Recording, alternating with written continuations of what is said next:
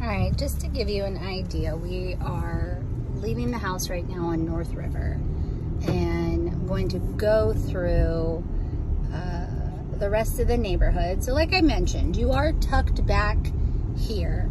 Uh, just a couple things.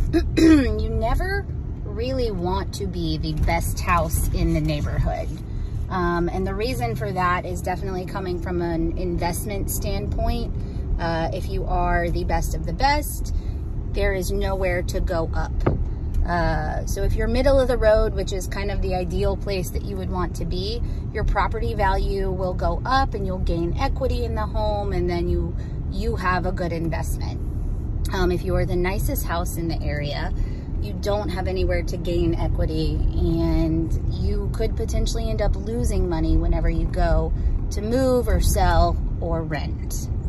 Um, so this is more of what the neighborhood does look like. Uh, like I said, a lot of these brick ranches that were built in the 50s and 60s. Um, I'm gonna take a turn right here. I'm, oh, I don't wanna run over that little bird in the puddle. So it is a quiet neighborhood. I don't want to talk poorly about the neighborhood. The neighborhood is very quiet. Uh, it seems like a lot of people that live here have lived here for a very long time. Um, it is, I just want to take you to the main drag. So whenever you get hungry or want to go to the grocery store, uh, it is a little notorious for being a rougher area, but please don't take my word for it. Please do your own research. Um, invest in those crime mapping apps if you have not already. Uh, I just do, do your research. Um, but that's why I like to do these videos to kind of give you an idea of what what's going on. This is George Washington Highway. It's going to be your main road to get into and out of the neighborhood and the area. But as you can see, it's very industrial. So further down that way, you're going to have a lot of like new and used tire stores and, oh, my light's turning green, hang on. I'm gonna take you this way.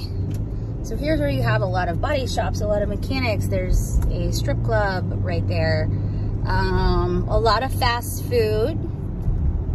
There are definitely gas stations. Um, self-storage places. There's a tattoo parlor.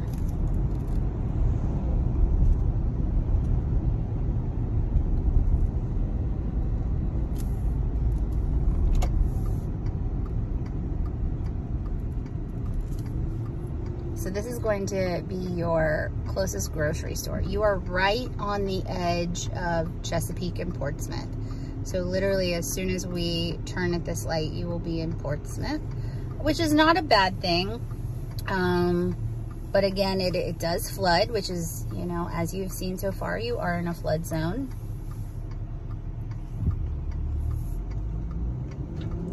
Man, I can't run that light with the cop there.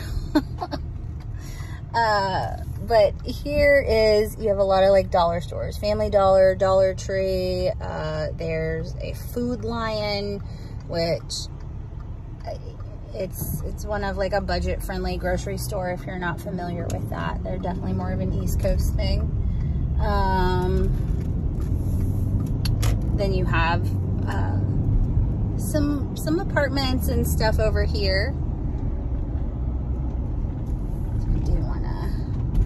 Turn around because I don't need to go into Portsmouth for any reason. So they have they have things um, to do over here,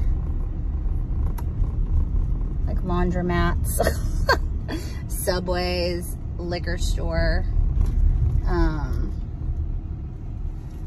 I would just do your due diligence, do your research, download a couple of those crime mapping apps. Um, and just know that this particular area is not as desirable as some of maybe the other areas that you have seen so far.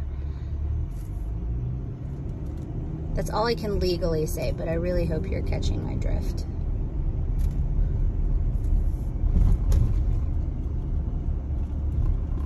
Also, if you are here and you are working at Little Creek or if you are working, um, not Little Creek, gosh, what am I talking about? If you're here and you're working at Portsmouth, it'll be a super quick commute. Um, but if you're working at Norfolk or Little Creek, then, ooh, it's a big old speed bump.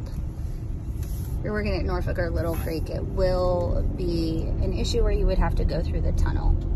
Um, so let me know, like I said, the neighborhood itself is very quiet, but whenever you have to leave the neighborhood for any reason, um, it is not the most desirable community.